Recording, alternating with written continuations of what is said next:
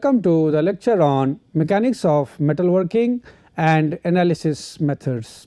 So, we will uh, try to be aware about some of the uh, terminologies in this what are the mechanics for the metalworking processes which uh, and, and some of the terminologies uh, will we will try to be acquainted with which will be required to analyze the operations in metalworking. Now, when we try to analyze that uh, uh, we know that uh, we have studied about the uh, uh, deformation theories, we have studied about the uh, plasticity theories in that we have seen many points like we have discussed many points like what are the conditions in the case of plastic deformation like the value of you know this Poisson ratio or also the other uh, you know uh, constancy of volume uh, conditions and all that. So, we will discuss about certain things because in, in most of the cases you you are concerned with the reduction of the you know or the change in the dimension of the product or the, or the cross section of the material and in that case you need to you find the amount of stress which is required to do that and what will be the associated things which will be occurring with that. So, that will be uh, discussed. So, when we uh, talk about the uh, you know uh, uh, mechanics in that case the first thing which we uh, come across in those cases is the constancy, constancy of volume approach So, so for uh, uh, constant uh, volume condition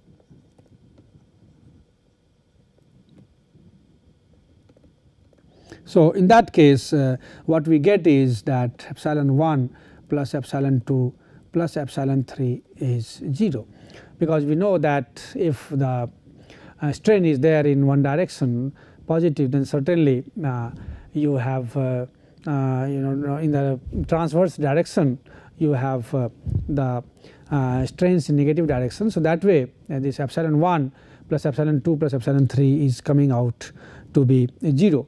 Now, when we talk about the metalworking processes uh, then what we see that uh, normally uh, when we talk about the stresses and we know that stresses are of primarily two nature either tensile or compressive. So, uh, we take tensile stresses as the positive one and the compressive stresses as the negative one.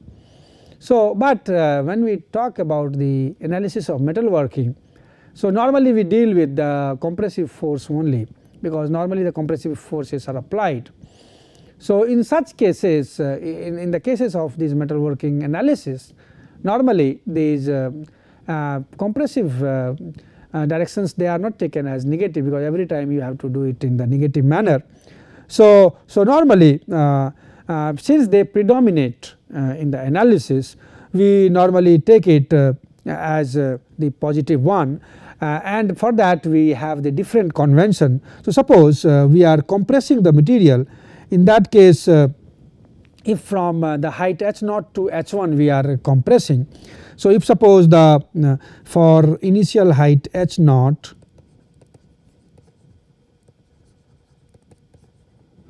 and final height h 1. So, if you look at the, the, the compressive strain which is developed. So, so as we know that uh, compressive strain will be. So, if you rewrite it like this a compressive strain or uh, so now in this case uh, we will have the definition uh, h naught to h 1 and this will be dh by h. So it will be ln of h 1 by h naught.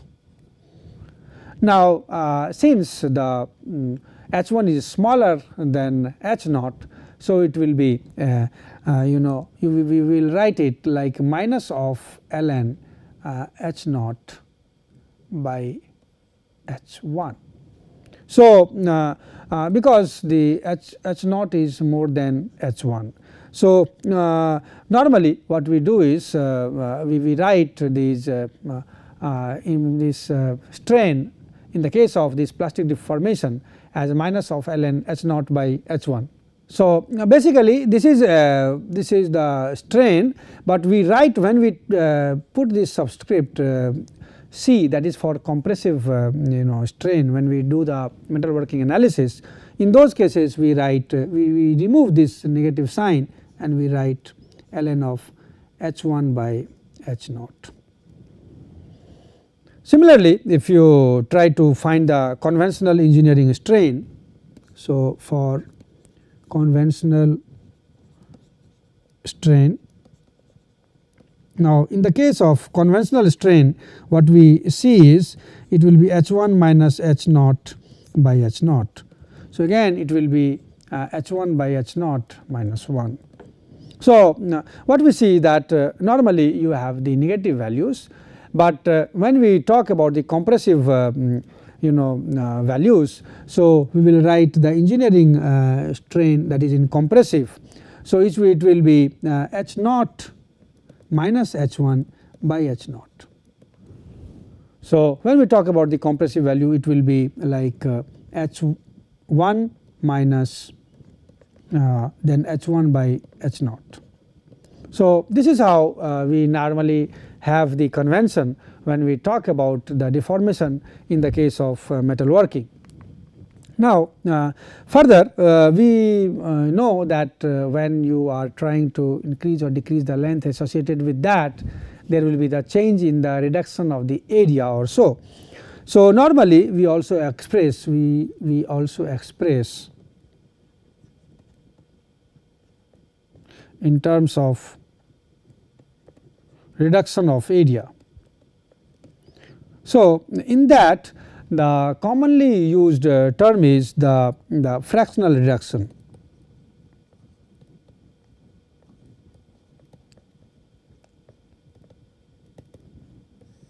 So, the, the fractional reduction will be uh, defined as R and this will be A naught minus A 1 divided by A naught. So, this is the uh, original area which was there cross sectional area which was there uh, earlier then uh, what is the final area and, and then divided by the original area and that is known as the fractional reduction of the area. So, mm, uh, if you take the constancy of volume relationship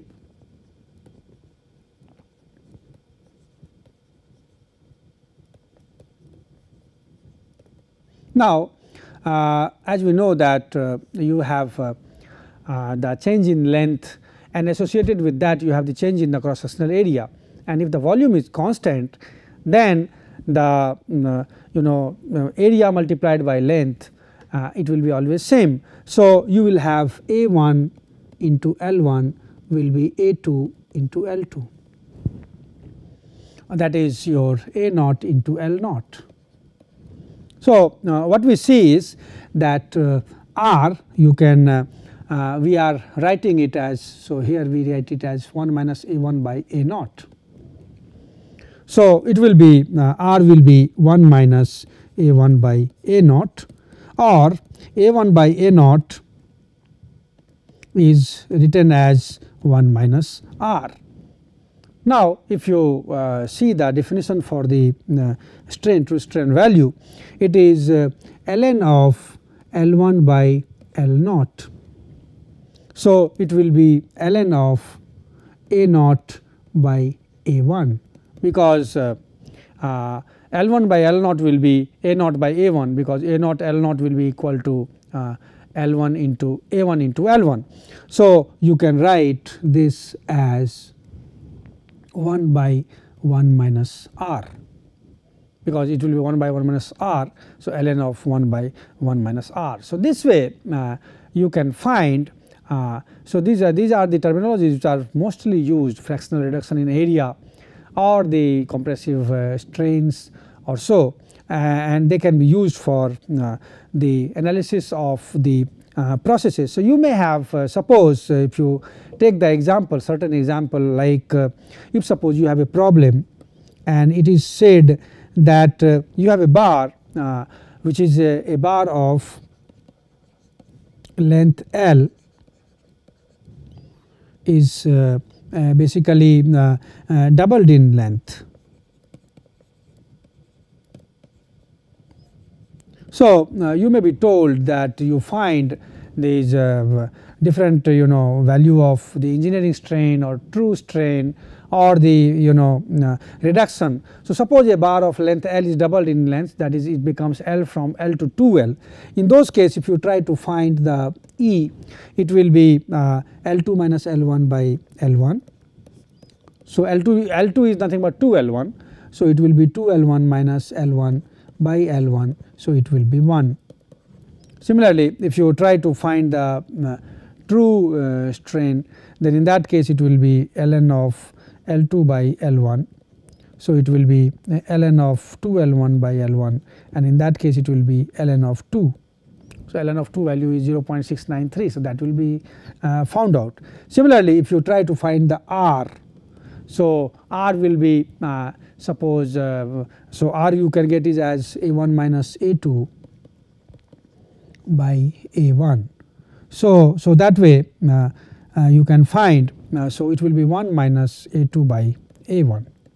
Now A2 by A1 is nothing but L1 by L2. So it will be 1 minus L1 by L2 and L2 is 2 L1. So 1 minus L1 by 2 L1. So it will be 1 minus 1 by 2 so 0.5. So this way uh, when a bar of length L is doubled in length in that case uh, it is uh, basically uh, you can calculate this true strain or engineering strain or the fractional reduction uh, values in, in such uh, fashion.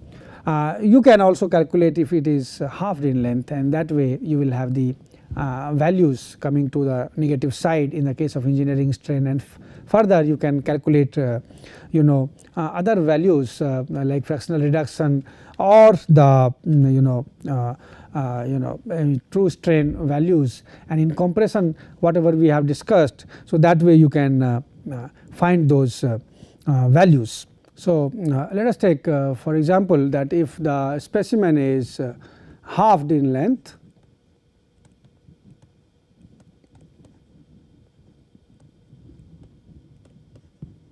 Now, in this case uh, L1 becomes L1 by 2 so, we can find the uh, engineering strain and engineering strain will be L1 by 2 minus L1 by uh, basically L1. So, it will be minus of 0.5, but if you take the engineering uh, strain uh, in, in compressive uh, direction compressive strain engineering compressive strain in that case we will uh, do the reverse L1 minus L1 by 2 and divided by L1. So, so it will be uh, basically 0.5. So, this is what the convention is used in the case of uh, uh, the uh, metal forming analysis where you largely you are trying with the you are dealing with the compressive stresses.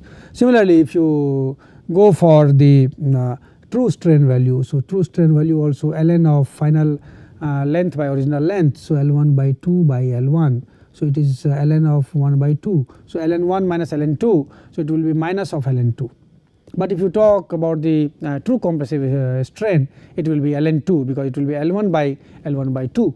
So, so it will be so that way it will be ln 2 okay and if you look at the uh, reduction of area so it will be L1 by L1 by 2 and then 1 minus that so, it will be something like minus 1. So, that is how you, you try to uh, find these parameters whenever required uh, in the you know metalworking analysis.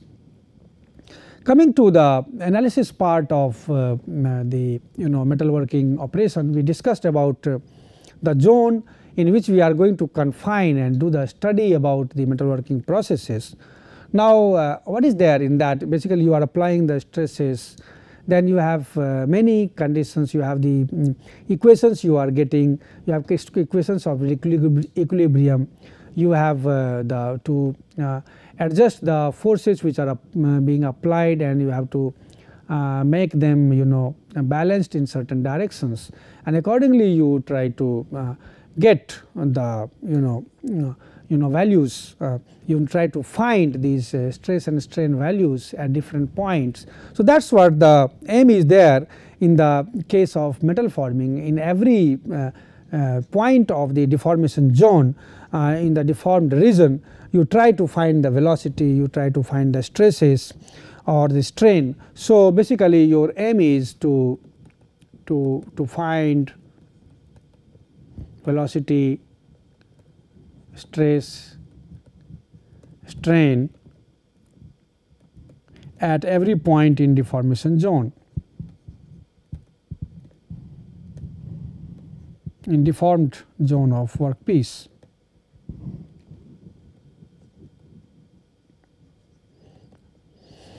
Now, uh, you have many ways uh, uh, for uh, approaching the problem in that case because ultimately we what we are interested in that we want to know that uh, with what velocity uh, the material is deforming or, or uh, you know the stresses or strain uh, at every point in that.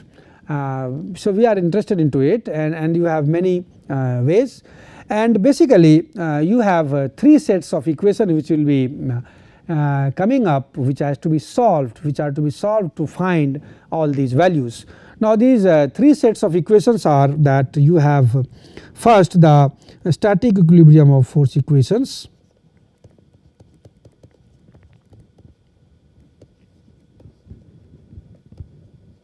So, uh, you have uh, the static equilibrium of force equations which are to be uh, you know solved. Then you have the Levy-Mises equation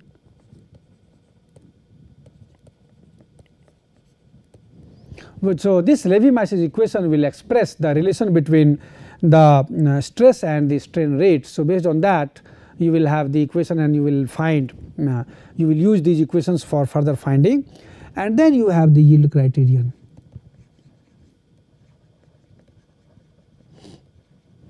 So, uh, you have uh, basically uh, 9 independent equations and uh, they are to be uh, solved and you have the uh, 9 also the unknowns. You have 6 stress components and 3 the velocity component or the strain component. And these are to be solved and you have the 3 uh, this way you have the 9 equations and you have 9 unknowns and they are to be you know solved.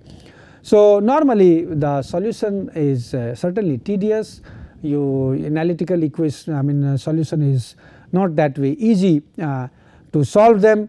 And uh, you have many methods which are used. And the different methods which are used are the you know slab method. So, this slab method it assumes homogeneous deformation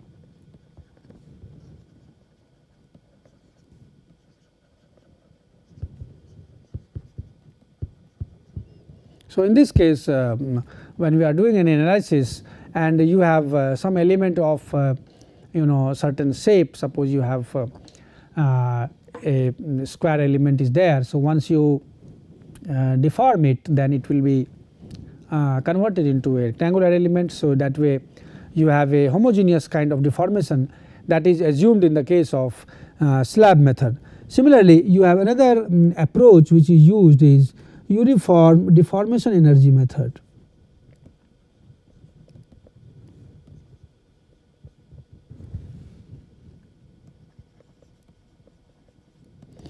Now, uh, in these cases what we have done is that uh, uh, you are applying you are giving the uh, energy I mean uh, for deforming the uh, workpiece.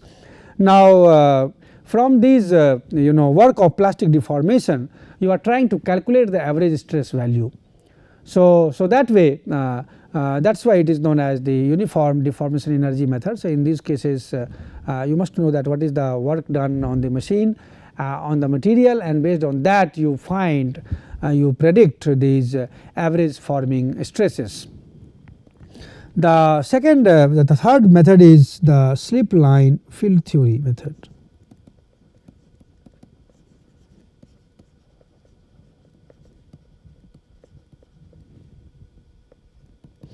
So, uh, it is uh, basically calculating the point by point these stress values are uh, you know calculated. Uh, and uh, normally we assume the plane strain conditions in, in such case.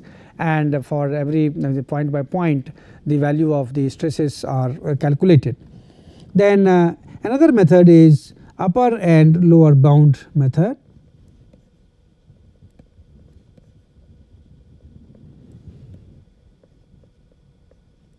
Now, this is done based on the uh, limit analysis and uh, uh, basically it will be using the. So, so this upper and lower bound method you will have the limit and you will use the reasonable you know stress value and the velocity field uh, so that you calculate uh, basically the bound within which these uh, actual forming loads should be you know lying. So, based on that you, you calculate these parameter values.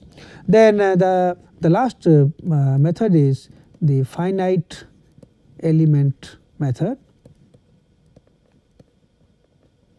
Now, uh, this is basically also known as the matrix method and uh, it will be allowing the large increment of deformation uh, for the rigid plastic materials and uh, uh, basically a lot of uh, computational time is reduced in this. This is the uh, uh, new approaches I mean latest approach which is used and in these cases the large amount of this computational time is saved. However, the um, you need to have the proper understanding for you know making the matrix which is to be solved. So, basically all these methods uh, are in the order of increasing complexity and the, the slab method is the most uh, you know easy one which is basically normally used for the analysis of the metal forming uh, processes. So, if you try to see that uh, mm, if you try to analyze this uh, slab method. So, this uh, slab method it assumes that the metal is uh, deforming. So, it assumes that metal deforms in deformation zone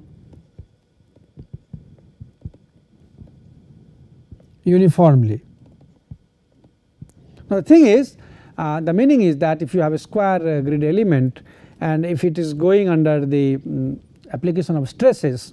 So, it will be converted it will be you know having a rectangular type of uh, you know uh, element it will be converted into rectangular type of element when it is you know uniformly uh, basically uh, you know deformed. So, that is what uh, mm, uh, this approach is. And this approach is used for so you have all these conditions we apply. We apply these uh, uh, you know force uh, balance equations. You apply the Levy-Mises equation you apply also apply the you know yield criterion and based on that we try to calculate the, the stress values.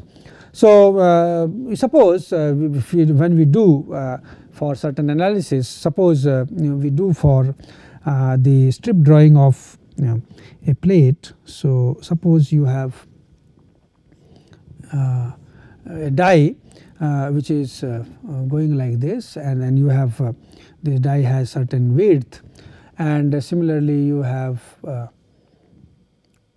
this as another die on the top as well as on the bottom. And then if suppose you have uh, uh, one strip is there uh, the strip is basically you know we are this strip basically we are applying this this is a, this middle point and uh, mm, this is suppose you one strip is taken here. Now, if you look at this this is coming to uh, suppose meeting at this point. So, this angle is alpha that is 2 alpha this is included angle. Now, uh, you want to uh, uh, change the thickness of this strip and later on this strip will come of this thickness now, uh, in this case uh, this is uh, your this is this way you have the width of this strip. So, you are assuming the width to be constant in that case you have constraint from both the sides and this length is basically going in this particular uh, direction. Now, what is uh, shown is that you have a certain height uh, on this side and this is uh, reduced to uh, this small size. And how you will uh, analyze this uh, process. Now, if you look at uh, uh, this so here you apply this pressure P. And similarly you have this this strip is subjected to a stress of sigma x in this direction. And if this is taken as the origin So, if suppose this is the point which is at x direction x distance and uh, if suppose this is uh, the length dx. So, this is x at x plus dx. So, you will have a stress value of sigma x plus dx at uh, this point. Now, now we take this height as h and the reduction in this height is dh. So, if this height is h so, in that case you will have this is the half of the distance. So, this will be half dh similarly you will have half dh here. So, so h this will be h and this will be h plus dh. So, this height is h and this side it is h plus dh. So, this half will be dh by 2 and here also you will have half it will be uh, dh by 2 here and similarly you will have half will be dh by 2. So, that will be so this if this is the height h and this is h plus uh, dh this is x equal to 0. Uh, other things are like uh, when you are uh, so this strip which is uh, there uh, you will have it its you know width along along this. Now, in this case the we have to find what will be the value how you will find the, the stress which is at the you know uh, uh, when it is uh, leaving the die. So, in those cases so suppose you uh, do the analysis of the uh, forces balance. Now, what you see is that uh, you have sigma x at this point and this is sigma x plus dx at this point. So, if you look at the the that way so you have sigma x plus dx at this point at this point and your height is h and width is we are taking as constant. So, this will be at h plus dh.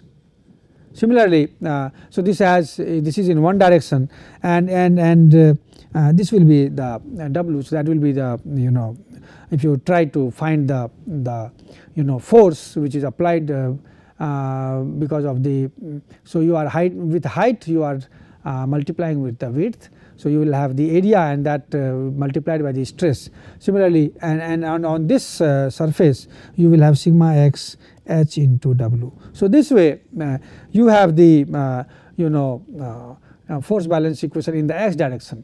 You may have the force balance equation in the y direction and if you take the y direction. So, basically this is 2 alpha. So, you will have similarly you have alpha here.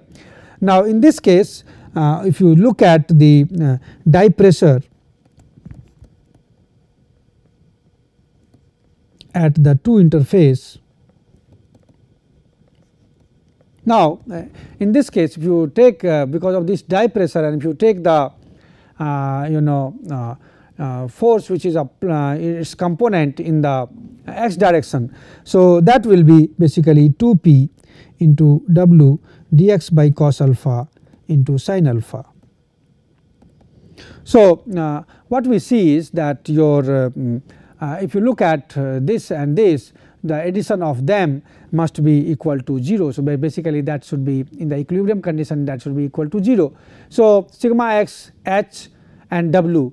Uh, so, and then sigma x h dx w sigma x uh, dx dh w and sigma x dx h w like that. So, if you uh, dx and dw term is neglected because they will be the small uh, you know smaller values. So, based on that if you uh, take the balance balance of the forces of uh, force equation if you see uh, you will see in the x direction you will get sigma x dh plus uh, h into d sigma x plus 2 p tan alpha dx will be equal to 0.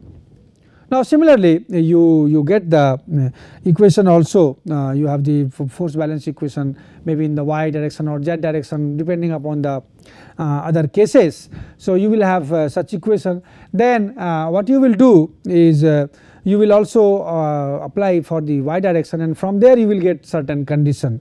Then you apply the condition of you know yielding and you can apply the uh, you know uh, you can apply